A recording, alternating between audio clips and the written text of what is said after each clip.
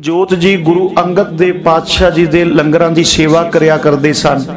ਮਾਤ ਖੀਵੀ ਜੀ ਨੇ ਦੇਖਿਆ ਕਿ ਉਹ ਝੂਠੇ ਪਤਲਾਂ ਦੇ ਵਿੱਚੋਂ ਭੋਜਨ ਇਕੱਠਾ ਕਰਕੇ ਛਕਦੇ ਨੇ। ਉਹਨਾਂ ਨੇ ਇਹ ਗੱਲ ਗੁਰੂ ਅੰਗਦ ਦੇ ਪਾਤਸ਼ਾਹ ਜੀ ਨੂੰ ਦੱਸੀ। ਗੁਰੂ ਅੰਗਦ ਦੇ ਪਾਤਸ਼ਾਹ ਜੀ ਆਏ ਤੇ ਆਖਿਆ, ਭਾਈ ਜੋਤ ਜੀ, ਇਹ ਕੀ ਕਰ ਰਹੇ ਹੋ? ਕਹਿਣ ਲੱਗੇ, ਮਹਾਰਾਜ, ਅੰਦਰ ਦਾ ਜਿਹੜਾ ਰਾਖਸ਼ ਬੈਠਾ ਹੈ ਜਿਹੜਾ ਕਹਿੰਦਾ, ਮੈਂ ਬ੍ਰਾਹਮਣ ਮੈਂ ਬ੍ਰਾਹਮਣ ਸਾਹਿਬ ਜੀ, ਉਹਨੂੰ ਮਾਰਨ ਦੀ ਕੋਸ਼ਿਸ਼ ਕਰ ਰਿਹਾ ਹਾਂ। ਹਜ਼ੂਰ ਨੇ ਆਖਿਆ ਇਦਾਂ ਨਹੀਂ ਉਹ ਮਰਨਾ। ਸਾਹਿਬ ਜੀ ਨੂੰ ਆਖਣ ਲੱਗਾ, ਮਹਾਰਾਜ, ਉਹ ਕਿਦਾਂ ਮਰੇਗਾ? ਗੁਰੂ ਅੰਗਦ ਦੇ ਪਾਤਸ਼ਾਹ ਜੀ ਕਿਰਪਾ ਦੇ ਘਰ ਅੰਦਰ ਆਏ।